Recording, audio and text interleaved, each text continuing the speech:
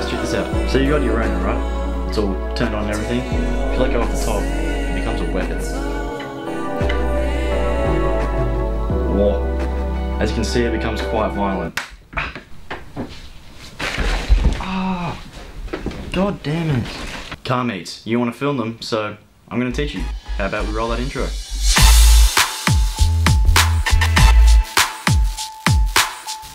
Hey again! Lovely to see all your faces again. And yes, I did trip over my bin at the start of that after I clicked record.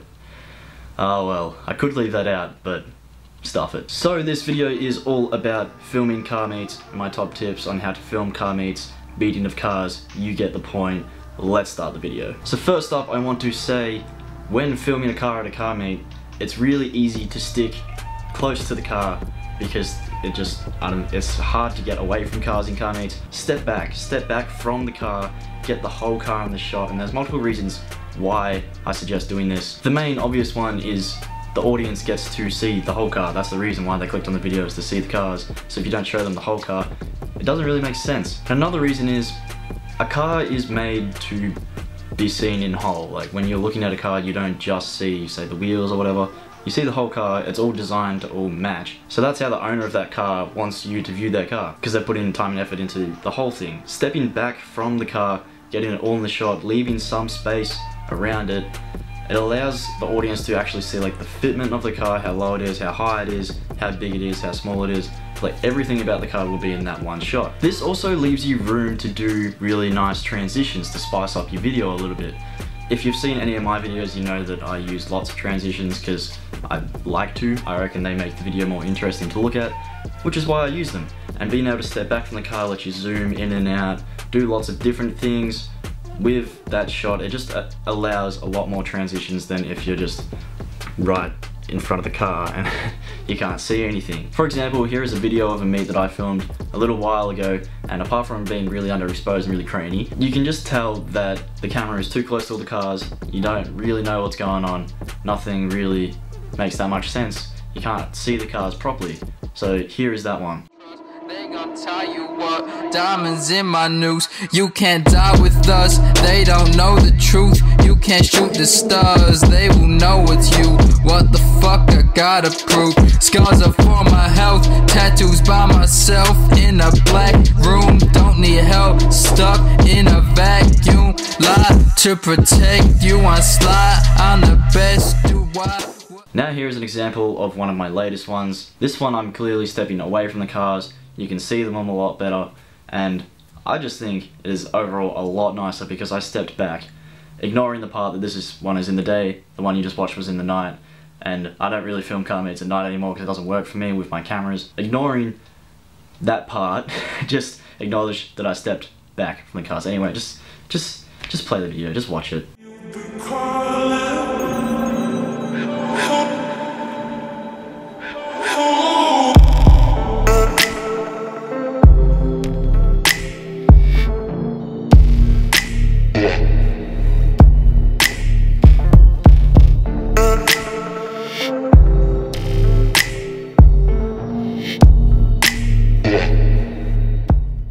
Yeah, that is a real easy, simple one. Step back from the car. Just, just step away from the car. Although you do encounter one problem because you're further away from the car, people just walk in front of you and it takes longer to get the shot, which is really frustrating. Some people see you and they stop, which is, which is awesome, but the majority of people just, they just don't. They just don't look. They're too busy looking at the cars, pretty much. Another reason to get away from the car is it shows the environment. The environment around the car where the meet is is very important. Speaking of the environment, the second thing I want to talk about is getting shots of what is actually at that car meet and the stuff around it. It's actually really important because if your video is purely just the cars at that meet, people might be like, oh hey cool, yep, cars, it was car meet, that's sick. But you'll find lots of car meets if they're well organized and done properly, there's other attractions that are there to invite people. A normal one is cars and coffee, so coffee. The, the Cars and Coffee down in Melbourne here, it's at an indoor go-karting track. So that's pretty cool. The audience won't know that if in the video that you make you don't show what is around the car meet. Another reason why this is important is because it gives your audience a different perspective of the meet or what is going on because it gives them an idea of the atmosphere that is at that car meet. Was it a family event? Was it not a family event? Was it a charity event? Was it a cruise? People don't really know this, well they'd probably know if it was cruise. People don't know this unless you show them in your video. And how I recommend to get these shots of the surrounding environment is to shoot it in 60 FPS. Now whenever I film cars I shoot in 24 FPS because it looks the most natural but if you're shooting like the people at the event or what is happening around the event, 60 FPS looks the best that has been slowed down to 24 FPS. Now the reason why I'm not saying 120 or 240 even though it is slower and some people regard as better, for these shots 120 and 240 FPS just looks too slow. It just doesn't look right. 60 FPS, slow down to 24 FPS still keeps energy in the video without making it stop. You'd have to try it out for yourself or watch a couple of people to actually understand that 120 FPS or 240 FPS just doesn't look right in car edit videos. In my opinion, that's something for you to take on board. If you don't want to follow that, then don't, it's your choice. But in my opinion, I think it looks better if it's shot in 60 FPS. And also this means you don't need a super expensive camera either, so that is always a bonus. Now on to my third point. Movement is key. The cars at the car meet are not moving, so you have to move to create energy. Now when I say movement, I don't mean camera shake or camera wobble or whatever. I mean nice, smooth movements in, out, up, down, not the same movements, because if you make just the exact same movement for every single car, that video is going to be so boring, so there's going to be no interest in that video. I've seen some videos of people with really nice sliders that just have the same shots of every car sliding sideways and it does look nice but after a little while it just gets a bit uninteresting so I recommend coming up with different kind of shot types, work with the environment, you might be able to get something cool, you never know. Remember you can go up, down, left, right, forwards, back, diagonal, around stuff. It's anything, any kind of movement that is smooth will help the video. Now as you saw at the start of the video and what is next to me, I have a Ronin. Now you may be like, oh Adam, I don't have a Ronin so I can't get movement in my videos. That's not how it works.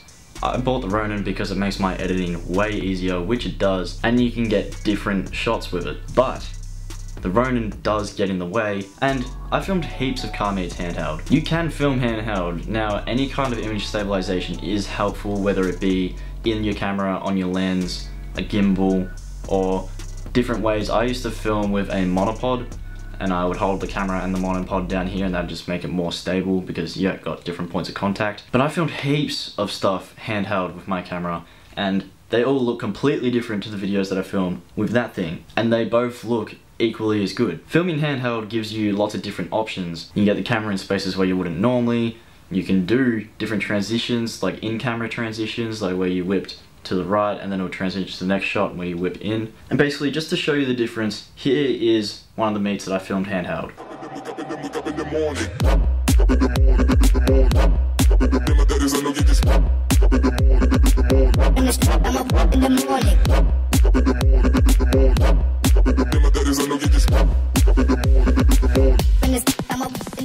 That still looks pretty good, doesn't it? Now, here is one of the meets I filmed with that thing.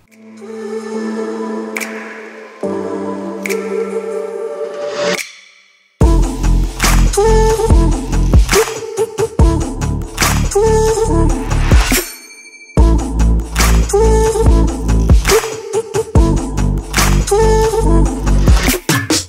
also looks pretty good. They're just completely different styles of videos. All that thing does is open you up to a new style. That's it. Apart from filming rollers. Since I mentioned rollers, let's talk about that. If you don't know what a roller or a rolling shot is, it's basically when with cars, when you're filming the car, it's driving on the road and you're hanging out of someone else's car, filming them as they drive. Rolling shot pretty self-explanatory. But basically, rolling shots with car meets can be helpful for going to the car meet, if that makes sense. So meeting up with a bunch of people before the car meet and then filming driving to the meet, that adds an extra element to your video. How you can do this is finding pre-meets or setting up your own pre-meet and basically it acts as kind of an intro to the video, an intro to the meet. Now you will find this is very difficult to do without some kind of gimbal simply because you will be driving and there's a lot more bumps than if you're walking. The next thing that I want to talk about is planning out your filming. Now I don't mean planning as in storyboards or what kind of shots you want to get. I mean plan in your head as you're filming. The saying that I like to remember is you need to film to edit, not just film random clips. And what that means is the shots that you are filming, think in your head how it's going to be put together, how that video is going to look, and it actually does make a huge difference. Something that is very helpful is picking a song prior to filming, because if you know what song you're going to use, you know how fast it's going to be and what kind of shots you need to get and you can get certain shots that will work with that song. And planning in your head also allows you to kind of choose the tempo that you want the video to be. So you could choose a real calm kind of style with nice smooth shots, nice calming slow music, that kind of thing. Or you could be fully hectic and have a real quick kind of edit and for that quick edit, you'll probably want heaps of movement, heaps of pull focuses. It will affect how you're filming if you plan that in your head prior to filming it. To give a very quick example of a faster edit of cars, here is one I filmed a while back with VL Turbo Cruise. And yes, Hectic Habib was there. But with this video that you're about to watch, you can tell the shots are different because the tempo is different compared to the previous ones that you've seen. So let's just roll that one now just so you can see the difference.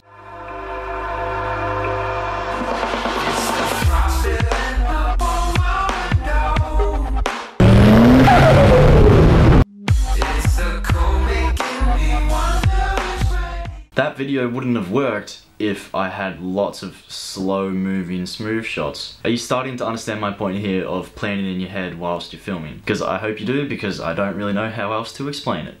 But that is going to do for today's video. I've tried to make a video that isn't really on YouTube because there's lots of videos about taking photos of cars, editing and that kind of thing, but there's nothing really discussing how to actually film car meets. Little tiny subtle things I've seen people do that I'm just like, if you just just change it a little bit and just be nice nicer, but you can't change it in editing because it happened when you filmed it. Remember to comment down below what you want to see next or any other tips for people that have that are watching this video that you think are also useful. So leave them down below. I obviously read them all because I'm not that big of a channel. and yeah, don't worry, the vlogs are still here. I'm filming a vlog tomorrow.